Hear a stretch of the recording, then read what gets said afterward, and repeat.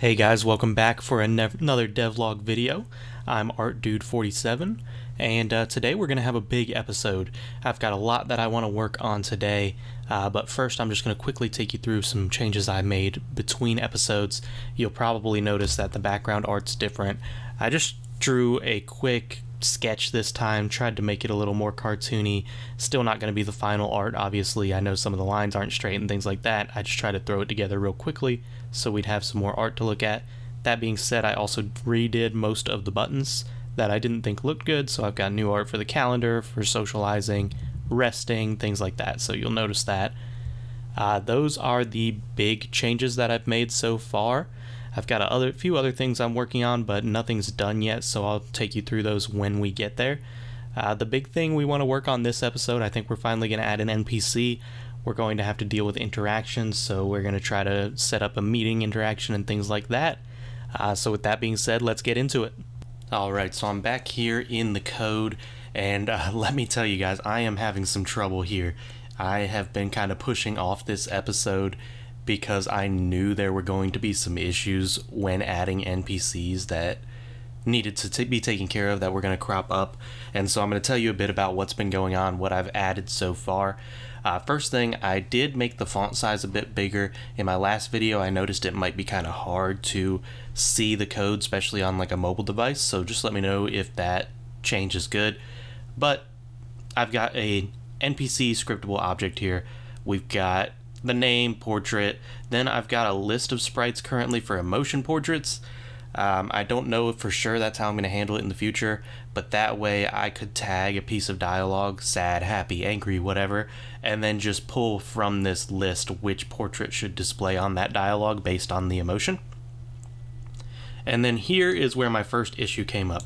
You'll see I've got a serializable dictionary, uh, string int, and its stat requirements basically I decided that the NPCs are going to have certain player stat requirements before you meet them, just like in Tokimeki Memorial. You may have to have a certain intelligence or athleticism or something like that. And I was trying to figure what would be the best way to compare the player's stats with what they need. And so I realized a dictionary is probably the way to do it. Uh, if you don't know, a dictionary is kind of like a list, except for every string there's a matching integer. So if there's a string called athleticism, there would be an integer for the value of athleticism. Uh, so I decided a dictionary. So on my player stats, you'll see I changed it to a dictionary as well rather than an individual variable for everything. And then on awake, when I set up the player, I just make a new dictionary string int health 100, humanity 0, and go through all of them. Okay, so that was easy enough, but the problem came with a dictionary um, in the Unity editor. So it led to a problem in the editor uh, because dictionaries aren't serializable by Unity, meaning you can't actually edit a dictionary in the editor, which led to some problems because it kind of defeated the purpose of using a scriptable object my idea was that I would completely make um, all my NPCs in the editor and be able to easily change them there. So that's when I decided the only way I knew to get around this was make my own customizable data type. So you'll see I've got this serializable dictionary. So I've got a script here. It's a class serializable dictionary. It takes a key and a value, and it uh, inherits from dictionary. So it is a dictionary, but it's got two serialized fields the list of keys and the list of values. And then what we do is we just make a dictionary for it. Okay, so then for here, uh, it extends the base dictionary class and it just makes that new list. And then this is just for the editor on before serialize. Uh, it clears out the list of keys and values, and then for each pair, uh, it adds the, the keys and values that already exist. And then there was an issue uh, that I was having, so I was I was having it debug.log this to see if it would fix it, and it did, so I commented that out. But basically what was happening is that if I added a new value, it would give me an error because the amount of keys didn't match the amount of values. So now basically this code goes through, and if they don't match, it adds either a key or a value depending on what's missing. Uh, so that's really high level what this is doing, but that's basically it. It's just a new dictionary, and all the only difference is that it's serializable in the Unity editor. That being said, I also made a custom editor for uh, NPC scriptable objects. So it extends editor, and it's got the serialized property of stat requirements, and then um, we have it find the property stat requirements in the NPC and then right here I've just got the GUI layouts for each thing that I want to be able to edit in the editor. So they're all there. Uh, so that being said now we can go finally back into Unity. I'll show you my first test NPC I've called her uh, sports girlfriend named her Donna. After uh, that 70s show the name's gonna change but I was just trying to test everything out uh, I'm used this beaker icon as the portrait currently. That won't be the case. And then I don't have any emotion portraits yet. We've got whether or not they met the player and the chance that they're going to meet the player.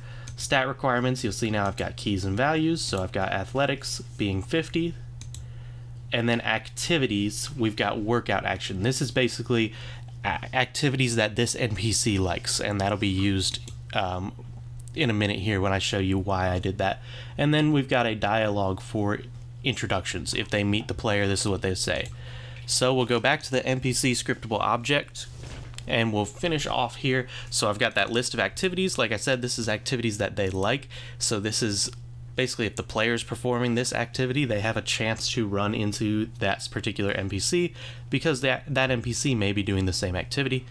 They've got a dialogue for when they introduce themselves to the player. They've got a bool whether or not they've met the player, because that should only happen once per playthrough. Bool whether or not the players obtain their phone number. An int for their relationship level. And then we've got this float for meet chance. And that's basically like the percentage chance that they will meet the player.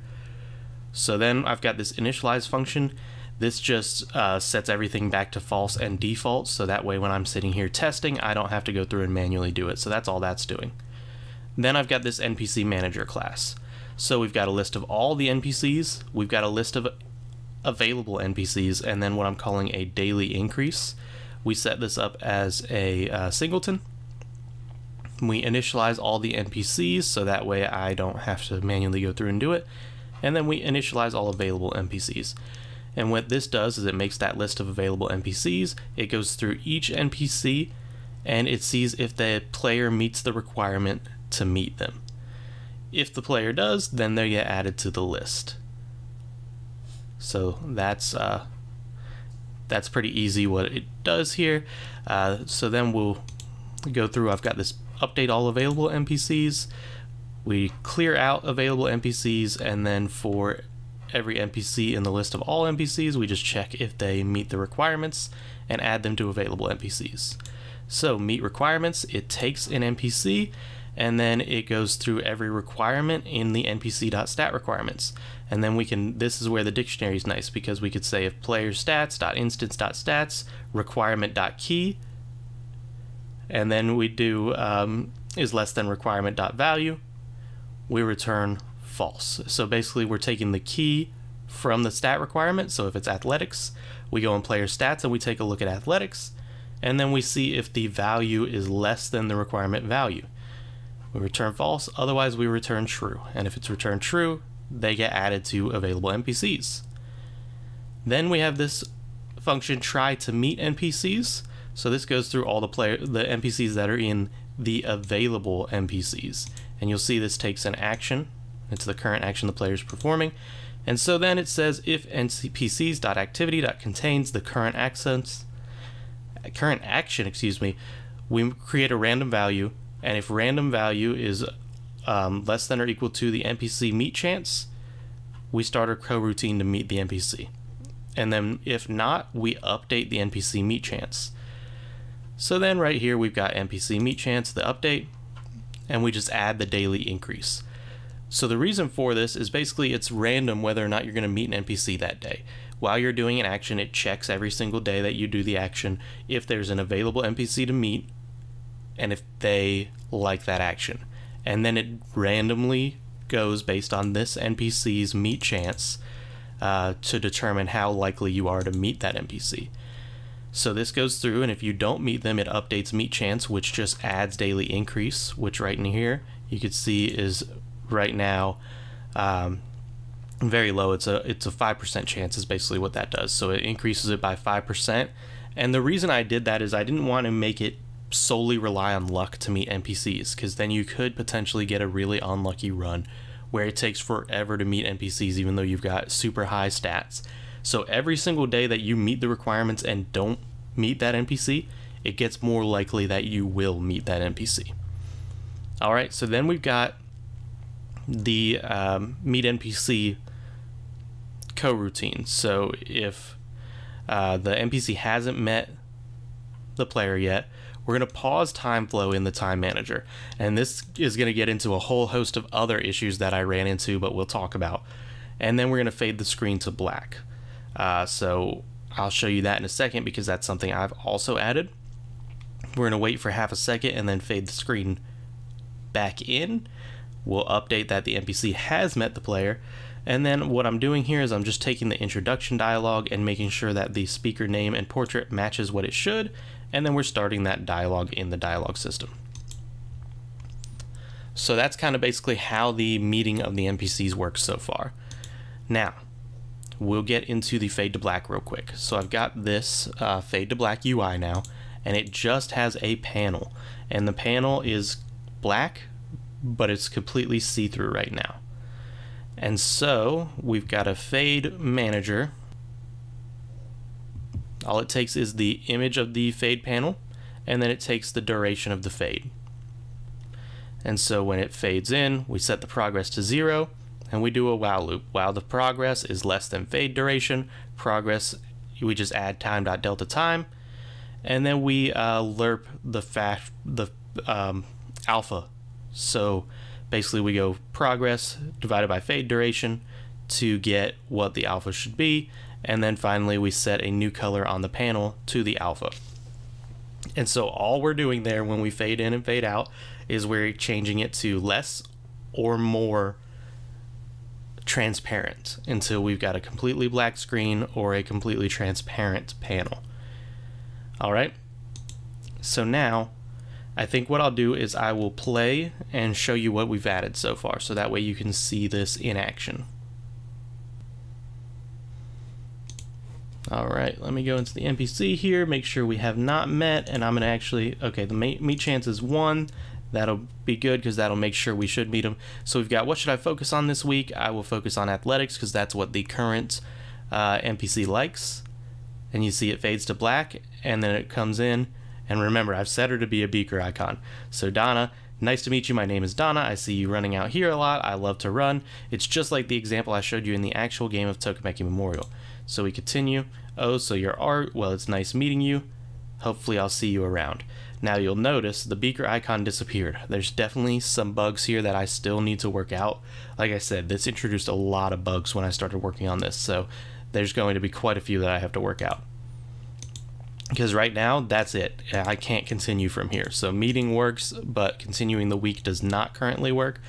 There's also some weird finicky things. I'm going to play it real quick once again just to show you that I don't love how it's working.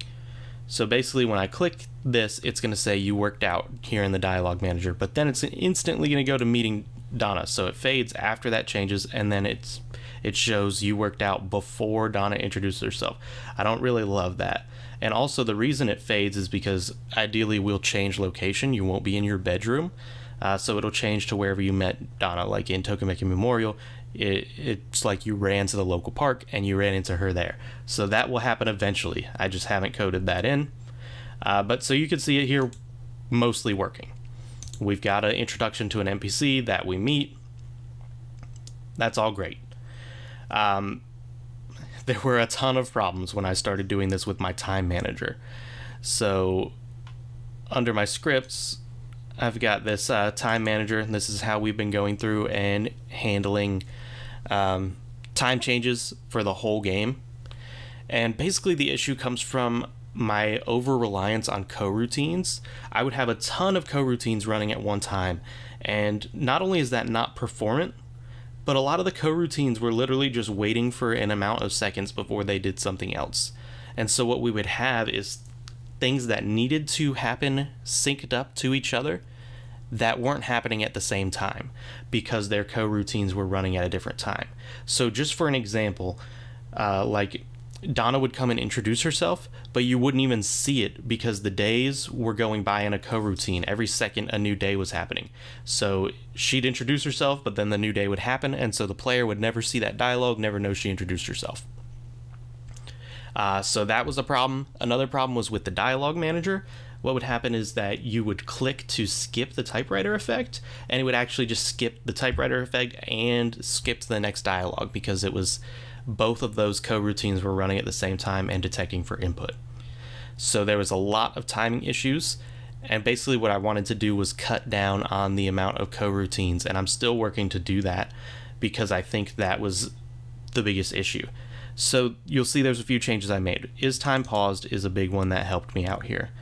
Um, and and we're using that to pause the flow of days. And so um, like here when we, we check move time day, uh, while it's not the weekend, day plus plus, we execute the action. Um, we try to meet NPCs now, and then we update the stats. If the time's paused, we just keep returning null until the time is on paused, and then we wait for seconds day length, we update the day, and then we update weekend status. So that's how we're doing it now. If the time's paused, then we just wait until it's not paused. Same thing on the move time weekend. If the time's paused, we're just waiting. And it will wait indefinitely until the time unpauses. So now, when we meet the manager, or uh, when we go to the NPC manager, when we meet an NPC, um, you see we just call this time manager dot instance dot pause time flow. So the whole time we're meeting this NPC, time's now paused so that way it won't move on to the next day. And then only once this NPC's dialogue finishes, the dialogue manager will unpause the time. So that is the first thing fixed. But like I was showing you, there's still other issues. So the next thing I'm going to try to tackle really is get rid of coroutines altogether. I think I'm going to try to make it less reliant on coroutines before I get into working on that, there is one more script I want to show you, which in this case is the dialogue system script because a lot of things had to change here as well. So first I started using Unity events. We've got one on pause time, one on resume time, and then the other thing I used was a uh, current dialogue state enumerator. So I've got the enumerator here at the bottom. Now we've got idle typing wait for input. So basically I switched to a state manager rather than relying so much on coroutines here. So we'll just go through real quick exactly what this script will go through if it gets a new dialogue. So we've got start dialogue dialogue. Uh, it sets all the, the UIs to active. And then we've got this function, uh, which I don't think I've showed you. Current dialogue text equals replace dialogue current dialogue. So let me show you this function first because this is new, okay? Uh, replace dialog takes a dialog uh, scriptable object and basically what it does is it creates a new updated text that is just uh, the, the current dialog text and what it does we um, replace anywhere in the text that it says NPC name in brackets and that actually gets replaced with the uh, the NPC's name and then same with the player name it replaces it with the actual player's name, the variable, and then it returns that new string. The reason I'm doing this is now in the Unity editor, I can make the uh, NPC say the player's name without actually having to type the player's name, since I won't always know what the, the player's name is. So I'll show you this. Um, we've got right here, oh, so your art when we met the NPC. We will replace this with oh, so your player name. And then if I just go into my player manager, we'll change the first name to, I don't know, Chad. We should be able to go ahead and meet this NPC and now it will say that without me having to change any code or anything like that. So, nice to meet you. My name's Donna. Oh, so you're Chad. Well, it was nice meeting you. So that's that's all that function's doing. It's just checking for certain keywords, and I may add more keywords in the future, and I'll do that by adding a new line and, and looking for the things to replace. Okay, so we're doing that before anything else when we start the dialog. Now we uh, check if the dialog coroutine is not equal to null, meaning it's it's currently typing dialog. We stop that coroutine because now we've got a new dialog. And then we check if the current dialog's pause time is true. And if it is, we just invoke that function and then our time manager will pause the time, or we invoke that event, excuse me. Next, we just disable the speaker name if it's not if there is no speaker name, same with the icon. And then we display the dialog based on the display type. So instant was fine. It just displays the dialog instantly. There wasn't really any problem with that. But typewriter is where we were having some issues because there's a coroutine. So we already looked at replace dialog. Display instant I'll show you, but like I said, it was fine. It just replaces the dialog. And then it checks if there's dialog uh, options, and if there are, it displays those options. Typewriter, on the other hand, used to not have this current state. So now I change the state to typing whenever it should be typing out. Sets the visible characters to zero, skip typing starts out as false, and then for each letter in dialog, we type them out. Uh, now, when we check if we want to skip, we check if the mouse button is zero, but we also make sure the current state is typing. And then the other thing is I make sure that at least two characters are visible. That just makes it so you don't accidentally skip the typewriter effect instantly when nothing's typed out yet. Uh, if two characters have already been typed out, then you probably do actually intend on skipping when you skip so then it skips. And if it skips, it just displays it like it's an instant. Otherwise, we increase the max visible characters, and we play the sound, and then we return wait for seconds typing speed. Next, we go ahead and we um, check if there's any options, and if there are, or if there's a next dialog, we change the state of the state manager to uh, wait for input. And so now we have an update function. If the current state is wait for input and the mouse button is down, then if current dialog is not null, we end the dialog. Uh, so this used to be a coroutine as well, and so we'd call the coroutine there, and that's where everything was having issues. So I changed it to an update function, and now it only works if the current state is wait for input. So then, uh, display options hasn't changed at all and I probably will but I, I haven't gone through that yet so we won't worry about that yet or choose options or clear options. None of those have been changed yet because I haven't been dealing with any dialog that has options.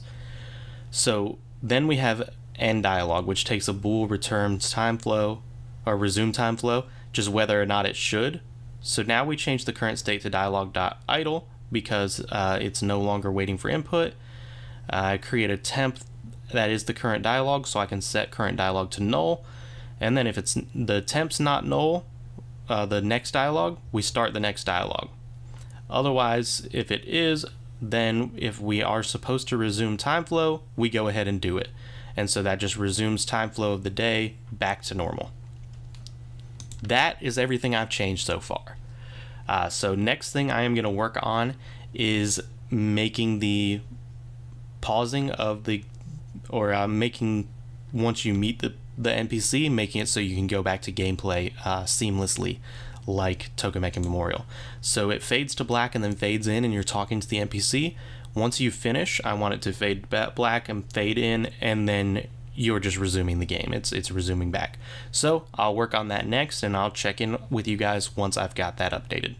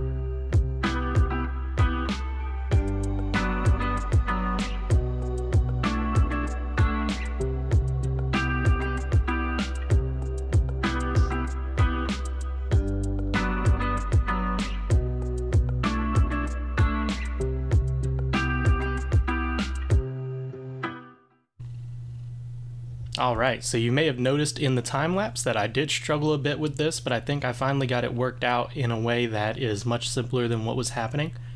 And it only uses a few new functions. Uh, so to start, I had to add in a few variables. You'll see I've got this float day length, um, which I already had as 1.5 seconds, but now I added elapsed time, uh, which starts out at zero. And then I've got this bool is action selected, which is false and then I've added the current action as an action SO that we have access to. And so then the first of the three new methods is just the select action, which passes an action and then it sets that to the current action. And it also says is action selected is now true because the action button now when it's clicked calls this select action. So once it's clicked, we know an action has been selected and it's true. So now we've got an update function which just says if the time's not paused and an action is selected, then elapsed time equals time plus delta time. And uh, so this is just keeping track of real time. Then if elapsed time is greater than or equal to day length, so it takes about 1.5 seconds, elapsed time is now zero, and we move time. And move time is the final function that we've got here. So first it increments the day, it calls update day, which if you'll recall updates the actual like string for the day so that way we can display it to UI. And then it updates whether or not it is currently the weekend. Then we execute the current action. We try to meet NPCs based on the current action. And then we update our stats in the UI. And then there's this switch statement. It gets the current day of the week, says if it's Saturday, then we're going to call our, our dialog system to start this dialogue. Today is Saturday, what should you do? Action selected is now false, and we break out. If it's Sunday, basically the same thing. We say it's Sunday, action selected is false, break. And then if it's Monday, uh, we call the spend day dialog, action selected is false, and then we call our scheduler.check for actions. And that is all that I added to the time manager script. I got rid of all the coroutines, so now there's none running, there's no weird timings happening. And the only other thing I've added so far is there was a new um, method here in our dialog manager, which is just a second form of the start dialog method that only takes a string. And so you'll see here in the time manager, you see how I called um, start dialog and just pass this string. So now the dialog system will take the string, it'll create a new instance of a scriptable object, set the text to the string that was passed, and then call the regular start dialog to display that. And so now I have the scripts working basically back to where we started, except now working much better. So I'll play it just to show you how everything's working fine still. Once it loads in here, and then uh, next thing I'm going to do is solve a bug that has been bothering me. So I'll show you. So if we study, study humanities extra hard, you could see the day of the week passing by.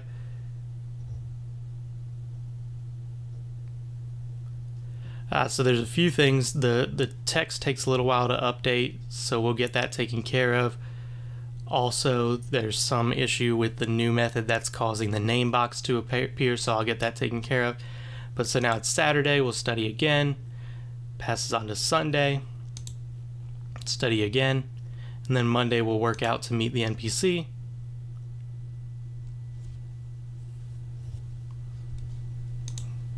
And this is the bug I'm talking about.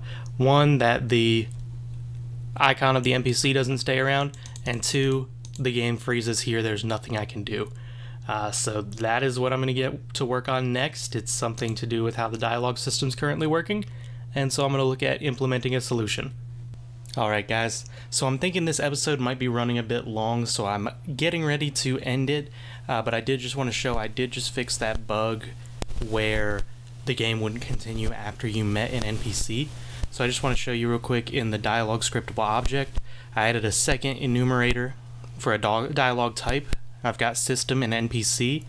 Basically looking at the the way the game's working currently, I decided those are basically the only two kinds of dialogues that happen. The system saying, hey, what should we do today? Or you studied very hard. And then you speaking actually with an NPC. Now, so far, anytime the system is saying something directly to you as the player, that dialogue is supposed to stay on screen until it gets replaced by a different dialogue. There are no options ever for the player to like respond to these dialogues. And then when the NPC talks to you, that dialogue is supposed to go away when you click. Um, it'll it'll go back to the next dialogue, or it will end that dialogue if there is no next option. And there may be player response options. So differentiating for the dialogue system will help, because now we just check basically at the end of uh, the type the dialogue function. We check if there's options or a next dialogue or if it's an NPC dialogue. And if it is, we go to wait for input for our current state. And then once we get the input, we end dialogue. Now at end dialogue, we check if there's a next dialogue. If there is, we just start that dialogue. If not, then we know time was paused because we were talking to an NPC, so we're going to start time back up. And that right there is basically what fixed it. So now we will run the game one last time here for this episode.